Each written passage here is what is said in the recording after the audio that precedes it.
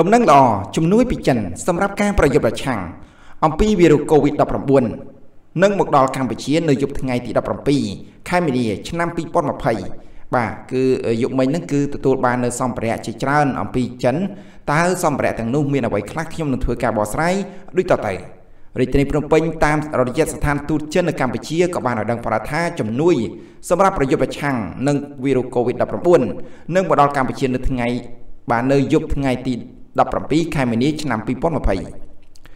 នេះបើយោងទៅតាមសារព័ត៌មានផេកផ្លូវការបាទយោងទៅតាមព័ត៌មានពីផេកផ្លូវការរបស់ស្ថានទូតចិននៅកម្ពុជាក៏បានសរសេរដូចនេះថាតាមការប៉ាន់ស្មានទុកមុននៃរាត្រីថ្ងៃទី17ខែមីនាឆ្នាំ2020នេះសាររដ្ឋធាតុ Detection Reagent ជំងឺវីរុស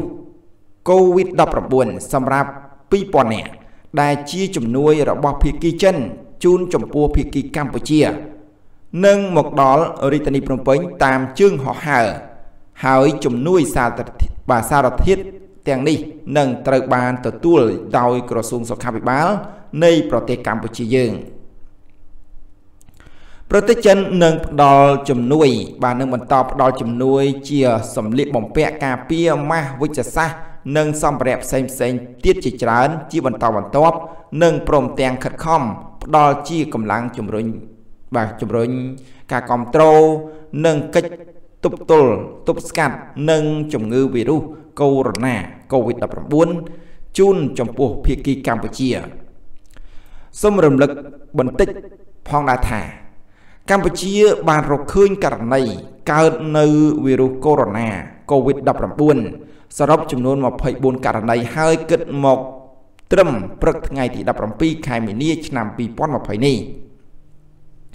បាទតាមពិតទៅមានករណីបាទ COVID-19 ហ្នឹងគឺវាមានច្រើនដែរនៅក្នុងប្រទេសកម្ពុជាចាប់ផ្ដើមកើនឡើងហើយបាទការកើនឡើងនេះចេញពីជនជាតិបរទេសតែម្ដង បាទចេញពីជនជាតិបរទេសដែលគាត់ធ្វើដំណើរទៅមកទៅមកនៅក្នុងប្រទេសកម្ពុជាយើង ដូចជាការដាក់ជើងហោះហើរបាទ ពីថៃមកកម្ពុជា ពីប្រទេសផ្សេងផ្សេងមកកម្ពុជានេះគឺជាចំណុចមួយដែលយើងគួរតែពិចារណាបើសិនជាកន្លែងណាដែលគួរផ្អាកបាន គឺយើងគួរតែផ្អាកជើងហោះហើរទៅ បាទប៉ុន្តែអ្វីដែលសំខាន់នោះគឺការផ្អាកហ្នឹងគឺវាបាត់បង់សេដ្ឋកិច្ចយើងបាទបាត់បង់សេដ្ឋកិច្ចយើងហើយខ្ញុំមិនអាចនិយាយឲ្យស៊ីជម្រៅជាងនេះទៅទៀតទេបាទអញ្ចឹងមានរឿងខ្លះក៏ត្រូវបាត់ហើយរឿងខ្លះទៀតក៏មិនបាត់ដែរអញ្ចឹងដោយសារតែមានមូលហេតុគេត្រឹមត្រូវនៅក្នុងហ្នឹងណា អញ្ចឹងយើងមិនអាចប៉ាន់ស្មានចេះតែផ្ដេសតែផ្ដាស់គិតតែខ្លួនឯងគំនិតតែខ្លួនឯងទេ